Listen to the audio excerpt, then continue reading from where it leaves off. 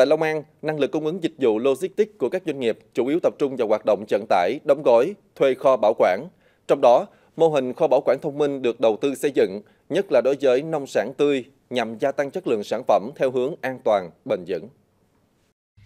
Để vận hành hệ thống kho bảo quản nông sản tươi dùng công nghệ điều chỉnh khí hoàn toàn tự động đầu tiên tại Việt Nam, mọi hoạt động lưu kho, truy hồi hàng hóa tại công ty trách nhiệm hữu hạn bảo quản rau quả Cast đều được số hóa, giám sát qua phần mềm, giúp việc quản lý xuất nhập hàng được thực hiện nhanh chóng chuẩn xác. Mỗi kiện hàng trước khi vào kho sẽ được nhân viên khai báo nhập dữ liệu, cấp mã số riêng và chỉ cần khai báo một lần trong suốt quy trình. Chúng tôi mong muốn đưa những cái công nghệ cao vào để à, à, giúp cho những cái phần à, xử lý sau thu hoạch nó được chuẩn chỉnh, à, tuân thủ tốt, à, đảm bảo những cái phần à, sản phẩm nó phải được chuẩn bị à, tốt trước khi đưa vào bảo quản cũng như là lưu thông à, phân phối.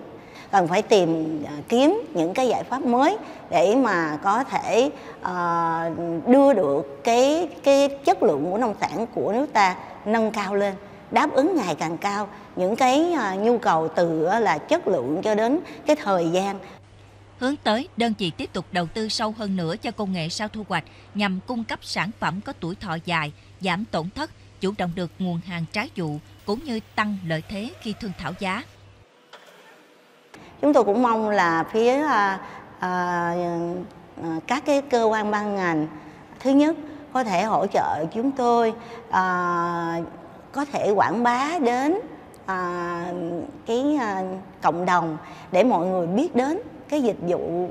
hữu ích này hơn nữa và biết tận dụng để à, có thể mang đến cái lợi nhuận bền vững cho mình.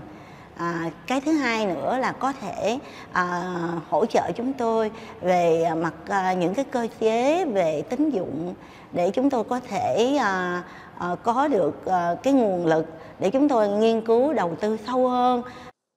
đóng vai trò quan trọng đối với khả năng cạnh tranh của rau quả tươi. Công nghệ bảo quản hiện đại sẽ góp phần hạn chế tình trạng được mùa mất giá, tránh hao hụt sau bảo quản và nâng cao giá trị cho nông sản Việt.